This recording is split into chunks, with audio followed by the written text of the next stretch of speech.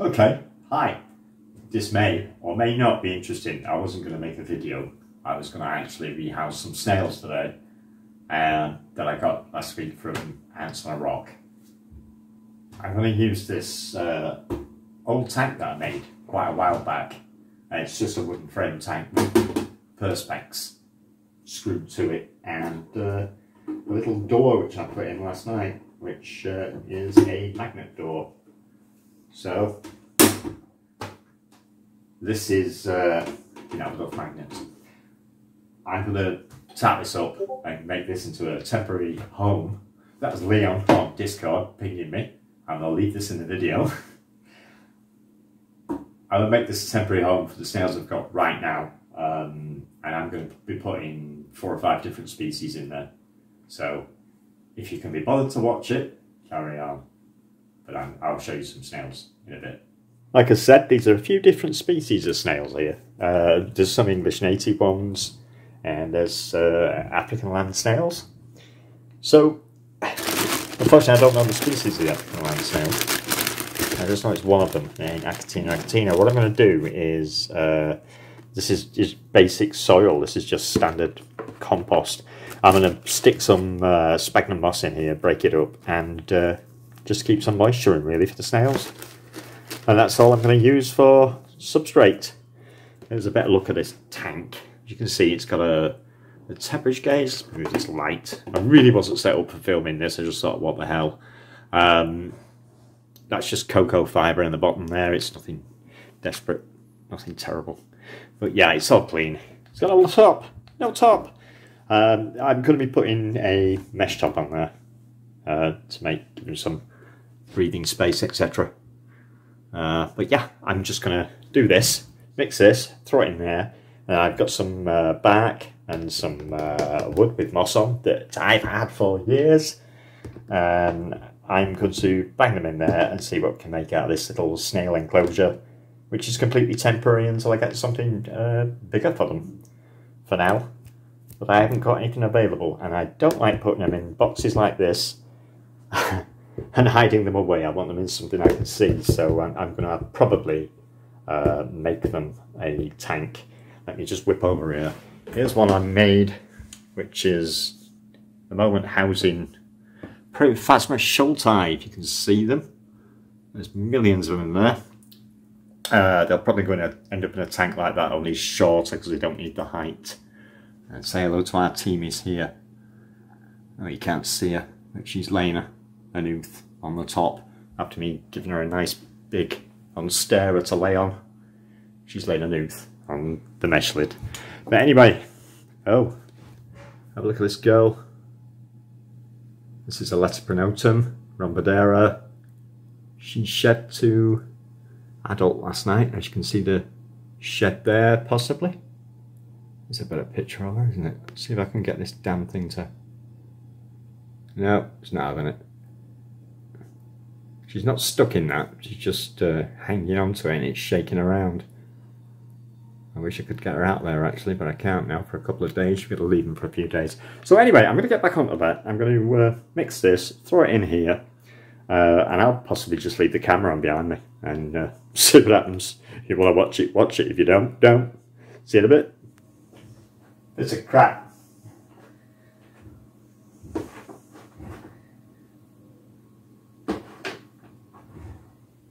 I don't trust anything sharp.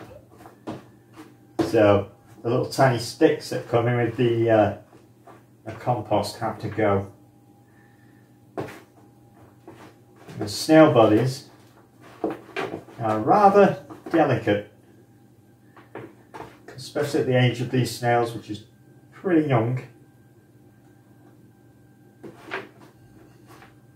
I'll get rid of this crap. Yeah, happy with that. Okay. So I'm just going to pop that in here. I only got one magnet on here, unfortunately. I ran out of magnets when I was making this, so just pop this over here. Probably can't see that. I'm going to show you closer. I've done. What I'm going to do I got moss in here as well. It's where the wood is at the bottom. I'm going to cover it up because the the native snails, the Helix aspersum, if you want their proper name, uh, do like to climb up on the plastic around, go higher, and when they drown, sometimes they simply fall off. So I don't want them hitting the wood frame and cracking their shells because that's a pain. So what I do now is I'm going to get uh, my bits and pieces that I've got soaking and uh, throw them in there and try and make it look like these bits. Look at these. Look at this back. Give me that light. This back. Awesome. You know, I've had that for a couple of years. Look at that. Beautiful. Still. Some nice wood there that uh, isopods would like, I think. But I've got quite a lot of bits and pieces here. I'm going to be adding moss in the bottom as well, just in case they do fall off the top. They've got something squishy to land on. So, what I'm thinking of doing is getting these and making a false back with them. Like, sort of interweaving them and putting them together like that. It doesn't really matter, as I say, it's, this is not for aesthetic, this is temporary. So I'm going to bang them in there now. Let's move this bloody light. For some strange reason, I don't get any light in here. Which is not usually a problem, because not usually filming. Yeah, shame that's not going to go all the way to the top. But, well, that's a nice big piece. Yeah, I think we'll save that. We do anything with these sticks? I've actually got a mantis that's ink bound at the moment. So I'm going to stick her in here as well. She's already laid one. So she can go in here and keep these guys company. She doesn't bother the snails, so the mantis and snails are okay together, or they appear to be. And uh, you certainly make sure there's no evil flies or anything hanging around. Yeah, I think we'll put that there. Because again, snails like to hide, so they'll love going behind there. It's great for them. At least the uh, the British native ones will. It's a nice mossy chunk. I'm going to put that there as another safeguard against whacking on the wood. This wood's really, really soft. If I put, if I squish this, it literally would fall apart. It's it's perfect for ice isopods. But I'm gonna keep it in here. I'm just gonna wedge that there just to keep that in. That's all I've got for um, bits of back. That's all I've got with me. Let me get this camera. That's all I've got with me for bits of back. It doesn't it doesn't actually look too bad. Me wow, this is shaky cam. Okay. So it doesn't actually look too bad. Uh, let me see if I can get a better pick. Yeah, it's better down here. So what I'm going to do is I'm going to add some moss in there on the ground. As I said, so if they fall off, you've got something springy to land on. And uh, I used to have some in here for a couple of years, so I know it's perfectly fine for them. But we've got to stick some calcium in there as well. And that's uh, that's something you really, really need for snails. I'll put this camera back. I'm going to go and get some moss. See you in a minute. Right, I've just been out in a t-shirt, in the cold. It's bloody freezing. I found some hypnum moss. I'm going to shove that in there. This is, as you see, it's soaking. It's been soaking outside in my moss bucket, or one of them. I keep, I cultivate the moss in uh, the tubs I just have my substrate in, basically with a clear lid. And uh, I have some that are soaking. So they're constantly submerged. And this is one of them. Now, I hope I got enough. I couldn't see very well outside and uh, it was cold and I couldn't wait to get back in. So there we go. Anyway, that will do, I think. And I'm covered in crap, but that will do. And it should be pretty safe there from any accidents. What I am going to put in is a bit of cuttlefish shell because snails love cuttlefish. Now what I'm going to do is I'm going to shove that down the side here. And I'll crawl on that and uh, eat it. And they use their radula to scrape the bone. They do it on stones in the wild, if you're wondering. And limestone, etc., and get the calcium out. But they uh, scrape along with the radula. You can see where they've... Wait a minute. Hopefully you can see. I'm going to come in here now. You see this? Let me attempt. Oh, why is dark over there? Why is it dark in that corner? Uh, you'll see where they've scraped it with their teeth. It's actually a tongue with teeth on it, and that's where they've scraped off the calcium. And they use that for their shell. Should be good. So now it's time to meet the snails. Unfortunately, I've got them in one of these. Don't worry, not for long. Been in here for an hour or so. And here we have, whoa, look at that. You see that? There's two baby African land snails. Alright, cheeky, cheeky snail there. It's a Gallic snail. I'll put these guys in here. In a twist because they're on plastic, so not too bad. This one's thinking about coming out. Are you going to come out? You Bill or Ben? We call these Bill and Ben. If you're as old as me, you know why. Now this little guy's come out. Very, very, very difficult to pick up. It's really tiny. I'll put you there, mate. And we have some others. This is Helix aspersum, one of my favourite snails of all time. He is. Let's see. I'm behind the camera here, so forgive me. Right.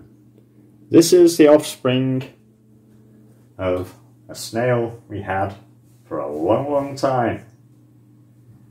We released most of his babies. At one point we had too many snails. Yeah, other species. There's no point saying. I'll show me after. Here's another one. You may think I put a lot in here for the size of the container, but I'm actually not. And they will, as I say, be rehoused. This guy seems to want me this carb. Let's make sure there's nobody else in here. I don't think so. I'm not going to throw it all away yet. Now, got some plastic plants here that I'm going to clean and uh, we'll see if we can make that any better. Well, I just see myself in the mirror so I hope you can't see me on camera because I look terrible. So I'm just going to stick these in here just to make it aesthetically pleasing or more aesthetically pleasing. Uh, it's not for that. This, this, as I say, it's just a purely temporary enclosure for these guys, but I'm going to put this on my desk anyway because I like to see my critters and speaking of critters, oh, somebody's took a hitchhike. And this I believe, I need a macro lens, but this little guy is. Oh yeah. Oh, you can't see him. What a shame. This little guy I've found is a flat millipede. What is doing awake, I do not know. But there he is. Now I'll put him in there. I'm going to put him on my millipede. Sorry, I do. Yeah, let's stick these here. Just for the fun of it. I'll leave the middle part because I'm going to. Uh, that's where I'm going to put the food. Will that go in there? Sure it will. And that is my little snail tank for now, which is perfectly adequate for both 22. It's basically summer for Helix aspersum and the other British native snails. And it's a cool day in Africa for those guys. So, all good. Let's pop this back over here. Shaky cam. Let's pop this. You get your face out of there, mate. Come on. Come on. Come on. You know what we're going to do? We're going to give you, even though everything's soaking wet, give you a quick spray. Make sure you're all wet.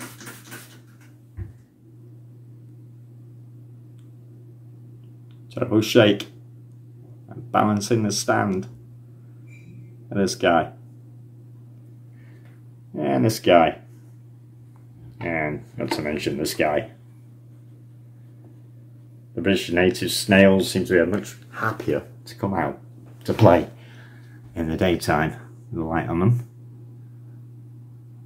Whereas the GALs, they like to come out at night. I've noticed this when I turn the light out, they come out quite a lot. And also the GALs don't tend to climb the sides like these guys who do.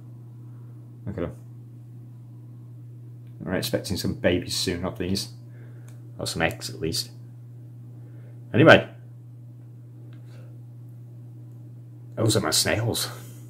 I'm going to finish this tank now. Let's get this door shut up before Grace here runs away. And yes, I do give them all names. And yes, when you handle a snail, it's always best if your hand is wet. Not too bad here because everything's wet and I'm going to put it down in a second, but if you keep your hand nice and wet, hope you can see him. Lovely snail that one. Beautiful, beautiful. Let's put you back in there. I'm going to feed you in a bit. Not quite yet. What I'm going to do on the top, this is an old piece of mesh that I had before. Let's shut this door, make sure nobody gets out.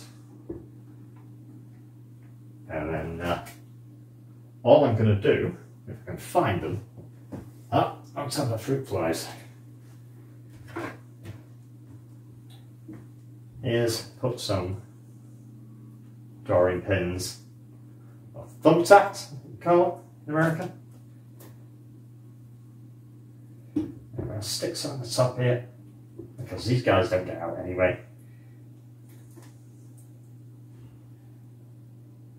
And there we have a snail tank, which is going to go by the side of one of the PCs. In fact, I think I'll put it between the two PCs there and uh, get to see them. I'm just going to stick some more of these in because I am putting a mantis in here as well. I'll show you her in a minute. There's Nadal. She does leave the snails alone, although she does spend a lot of time staring at them. I don't think she can figure out what they are. Wow, this wood's tough. And I know what you're thinking, I've made it out of wood. But this wood has been soaked and stained in a waterproof uh, coating and uh, it seems to be okay because it's years old, so there we go. Now I'm going to put that on my desk there, but first I think I will show you. And where's she gone? There she is. I'll show you the girl that's going in it. She's a tiny adult African. And she's going to be going in there. Uh, if I could get her focus on her. Lovely, isn't she? She's already laid me a nooth. And this, this is where it's going. Pride and place between that PC, this PC, and I'll be able to look at that all day long if I want to. So, not bad. I'm quite happy with that. Nice little environment for them. For now. So we get something bigger for the land snails. And I've just got to catch that mantis and pop that in there as well. Be right back. And this girl is going to be living in there to lay a roof. But during the day she pretty much stays out. I just don't want to leave her out because right above her, if you can see that, is this guy. He's quite big. He's hanging on that plant there, so he's, he's just literally above her. So I don't want to leave them out. She did already lay me an egg sac or an ootheca, which is there. And it's hard to believe that that came out of her in one go. It was actually huge. So it's a bit luck she'll lay another one. How pretty is she? And that's about it really. So, if you liked it, give us a like, leave a comment, moan, subscribe, don't care. I'll leave it with you to decide.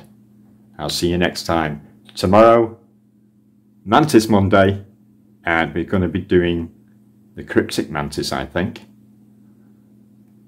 Because I only have one, and he's molted to male a few weeks back, and I think it's a good idea to get that video done now while he's still with us. And uh, we'll go from there. So, thanks for watching. If you did, make it all this way. Really, thanks for watching. I'll see you again next time. Bye bye.